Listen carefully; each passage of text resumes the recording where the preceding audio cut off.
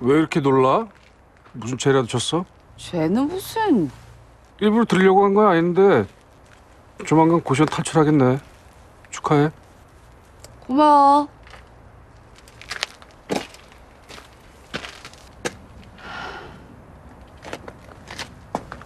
대비 아저씨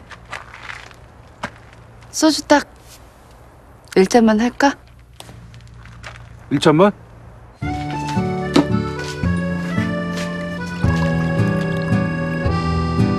이상하네. 뭐가? 공짜 아파트가 생겼는데 생각보다 반응이 별로네. 너무 좋아서 실감이 안 나서 그러지 뭐. 정말이야? 정말이지 그럼.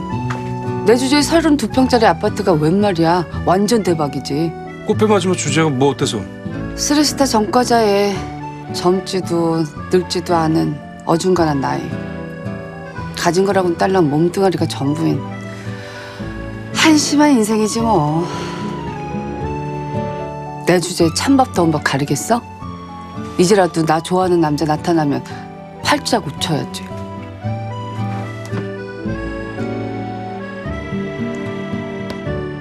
아줌마 아직 이뻐. 아니 뭐 딱 내 스타일은 아니지만 객관적으로 이뻐. 20대 후반이라고 해도 믿을 만큼 젊어 보이고. 아, 웬일이야? 제비 아저씨 입에서 날 칭찬하는 말이 다 나오고. 그러니까 이사 가지 마.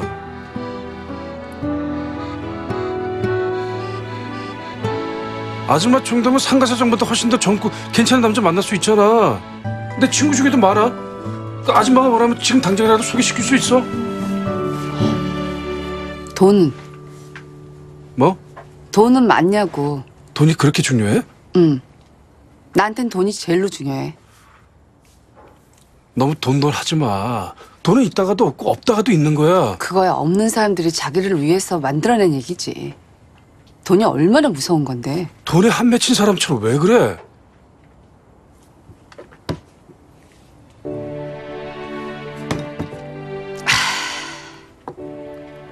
죽은 남편 말이야.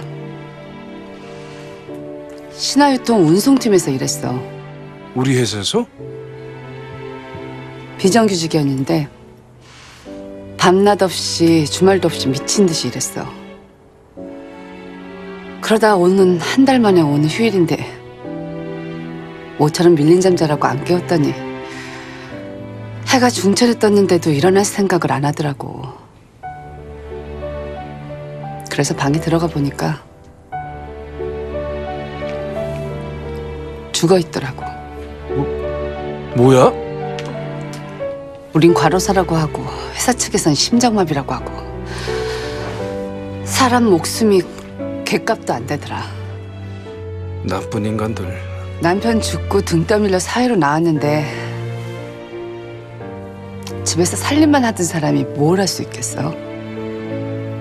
one star, two star, three star 다는 거 시간 문제더라. 꽃뱀 아줌마한테도 그런 아픔이 있었구나.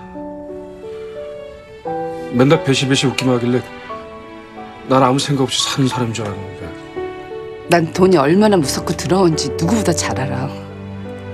그래서 돈 걱정만 안 하고 살 수 있다면 예순이 아니라 여든 살 먹은 영감님이랑도 얼마든지 연애도 하고 결혼도 할 수 있어.